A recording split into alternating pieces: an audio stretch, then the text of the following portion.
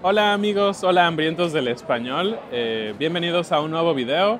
Y este video va a ser un poquito más complicado de lo que normalmente tienen porque estamos acostumbrados a grabar en el estudio, todo el sonido está perfectamente cuidado porque soy un geek del sonido, pero hoy decidimos grabar en un restaurante.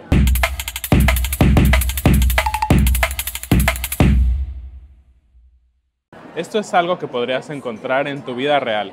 Viajas a un país, viajas a México, a Colombia, a cualquier lado para practicar tu español y te encuentras un lugar así, donde las personas están comiendo, hay sonidos de los platos, los vasos, los cubiertos, y de repente dices, no puedo entender el español. Pues tratamos de prepararte un poquito con este video. ¿Y dónde estamos? Pues ahorita estamos en Austin, en Texas. Esta es parte de nuestro viaje que estamos haciendo aquí en Estados Unidos y queremos aprovechar este video para contarte un poco cómo ha sido nuestra experiencia y está súper relacionado al idioma que tú amas, el español. Así que, ¿qué mejor? Así es, y bueno, queremos platicarles lo que llevamos de nuestro viaje hasta ahora. Eh, pues pasamos por la frontera y una cosa muy interesante es que hace cinco o seis años, para que ustedes tengan el contexto, nosotros viajamos también acá por carretera y digamos tuvimos más o menos las mismas experiencias, ¿no? Empezamos con el agente del Border Patrol que te revisa los documentos y desde la vez pasada nos revisaban en inglés, ¿no? Ajá, claro, se entiende, ¿no? Estás llegando a Estados Unidos, pues te van a hablar en inglés. Sin embargo, esta vez fue muy diferente porque todas las personas en la frontera nos hablaron directamente en español. Exactamente. Dos oficiales de CBP nos atendieron completamente en español y algo muy interesante podíamos ver que no era su idioma nativo, ¿no? De uno de ellos era obvio que no era su idioma nativo y lo hizo perfecto, habló perfecto, pero para mí fue muy interesante que decidiera usar español en lugar de inglés con nosotros. Así es. El segundo era una persona que se notaba mucho más natural hablando en español, pero podías escuchar claramente que él podía cambiar de idiomas y eso es muy impactante. Ahorita les vamos a platicar eso también. Y bueno, ya llegamos bastante tarde, entonces estábamos muy cansados y decidimos quedarnos a dormir en Laredo. La vez pasada no nos quedamos tanto tiempo en Laredo, fuimos directo a San Antonio. Pero, ¿saben qué fue una locura? Locura total. Fuimos a diferentes lugares, caminamos, eh, fuimos a, cenar y en todos los lugares parecía que el español era el idioma como default, ¿no? O sea, no hablamos ni una palabra de inglés eh, todo el tiempo que estuvimos en Laredo.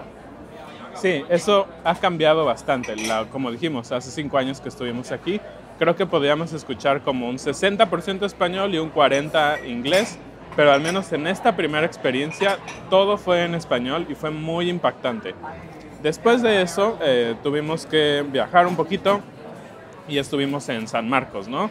Fuimos a hacer algunas compras y también aquí algo pasó muy interesante. Cuéntanos. Pues estaba en una tienda concentrada viendo la ropa, viendo qué me quería comprar pero en ese momento en la tienda había música, reggaetón en español. Y alrededor de mí había pura gente que hablaba español, de, me parece de forma nativa. Entonces por un minuto de verdad se me olvidó que estaba en Estados Unidos. O sea, yo estaba concentrada en la ropa, pero estaba escuchando puro español a mi alrededor, que se me fue la onda y dije, ¿dónde estoy? Sí, pues bueno, para mí también la experiencia fue muy similar. Escuché muchísimo español, no solo de los turistas como nosotros, sino también de las personas que atienden en los negocios y las personas cambiaban de ida y vuelta. Y de hecho eso es algo que nos quedamos sorprendidos. Fuimos a un restaurante que se llama Whataburger a, a desayunar y mientras estábamos esperando estábamos sentados frente a la caja y fue impresionante la manera en que vimos que las personas cambiaban de inglés a español en un segundo. Entonces dijimos, wow, si alguien quiere tener una inmersión bilingüe, no necesitas salir de Estados Unidos para los que viven en Estados Unidos. Puedes viajar a una ciudad fronteriza y puedes darte cuenta que los idiomas conviven de una manera impresionante. Así es.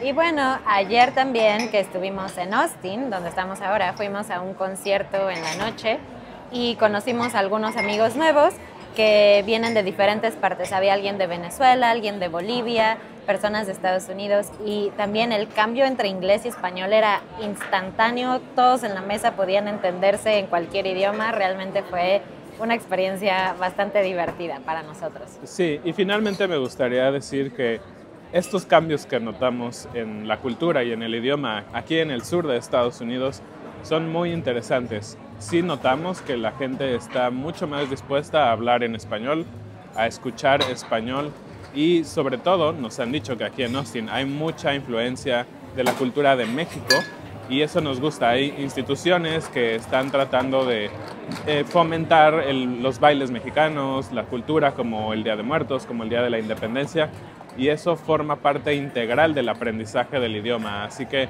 nos encanta lo que está sucediendo en esta parte de Estados Unidos y pues vengan y practiquen español aquí también. Es una gran manera sin tener que salir de tu país. Y bueno, obviamente somos turistas en este país, así que si tú tienes más opiniones o si tú sabes de más cosas de cómo ha cambiado digamos, el tema del español en este país durante los últimos años, ya sabes, déjanos un comentario, nos encanta aprender también de lo que ustedes dicen. Bueno, pues eso es todo por este pequeño video. Gracias por seguirnos como siempre y nos vemos la siguiente. Adiós. Adiós.